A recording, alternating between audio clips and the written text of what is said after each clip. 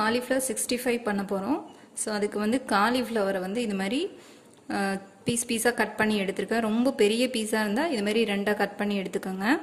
இது மாதிரி தனித்தனியாக இருந்தால் பார்க்குறதுக்கும் அழகாக இருக்கும். நம்ம போட்டு எடுக்கிறதுக்கும் ஈஸியாக இருக்கும். இது மாதிரி கட் பண்ணி எடுத்துக்கிட்டு நல்லா வாஷ் பண்ணி வச்சுருக்கேன்.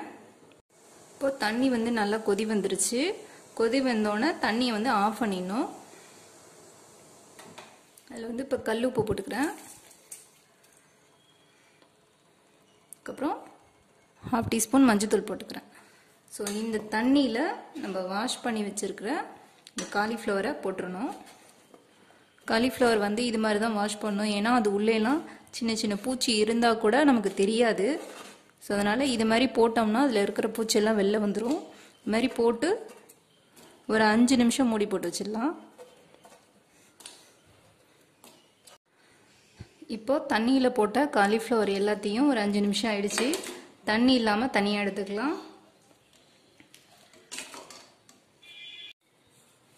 இப்போ காலிஃப்ளவர் பார்த்தீங்கன்னா நல்லா தண்ணி இல்லாமல் ஃபுல்லாக வடித்து எடுத்துட்டேன். தண்ணியே இருக்கக்கூடாது. அதுக்கப்புறமா இதுக்கு மேலே வந்து கோட்டிங் வந்து ரெடி பண்ணிடலாம். இதுக்கு இப்போ ஒரு கிலோ காலிஃப்ளவர் எடுத்திருக்கேன். ஒரு கப் மைதா போட்டிருக்கேன். இது வந்து கார்ன்ஃப்ளவர் அரை கப் போட்டிருக்கேன். காரத்துக்கு ஏற்ற மாதிரி மிளகாத்தூள் வந்து ஒரு டேபிள் ஸ்பூன் போட்டுக்கோங்க. கரம் மசாலா ஹாஃப் டீஸ்பூன் போட்டுக்கிறேன். உப்பு தேவையான அளவு. இஞ்சி பூண்டு பேஸ்ட்டு ஒரு டேபிள் ஸ்பூன் போட்டுக்கிறேன். இது எல்லாத்தையும் நல்லா மிக்ஸ் பண்ணிக்கலாம். தண்ணி வந்து கொஞ்சமாக போட்டுக்கோங்க. தண்ணி வந்து ரொம்ப போடக்கூடாது.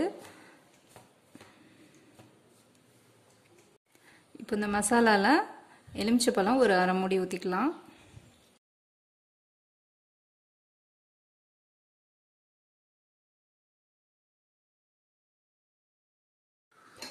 இப்போ மாவை வந்து நல்லா மிக்ஸ் பண்ணியாச்சு.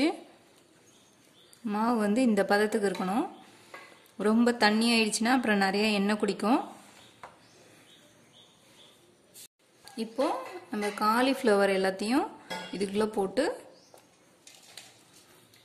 மிக்ஸ் பண்ணிடலாம். மாவோட அப்படியே எல்லா இடத்துலையும் ஈவனாக படுற மாதிரி கோட்டிங் இருக்கணும்.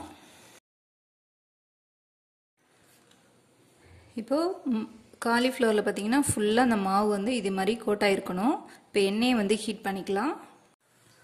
இப்போது எண்ணெய் வந்து நல்லா காஞ்சிருச்சு. இப்போ ஒன்று ஒன்றா நம்ம வந்து காலிஃப்ளவரை ஒன்று ஒன்றா போட்டுடலாம்.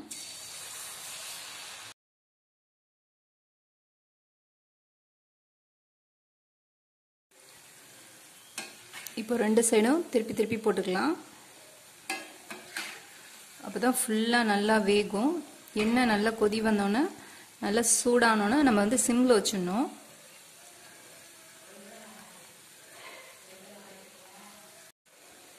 இப்போ நல்லா வெந்து சூப்பராக நமக்கு காலிஃப்ளவர் சிக்ஸ்டி ஃபைவ் ரெடி ஆகிடுச்சு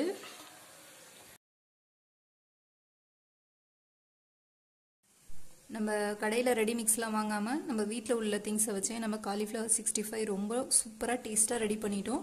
நீங்களும் இதே மாதிரி ட்ரை பண்ணுங்கள் ட்ரை பண்ணி பார்த்துட்டு உங்களோட கமெண்ட்ஸை சொல்லுங்கள் உங்களுக்கு இந்த வீடியோ பிடிச்சிருந்துச்சுன்னா மறக்காமல் லைக் பண்ணுங்கள் ஃப்ரெண்ட்ஸ் தேங்க்யூ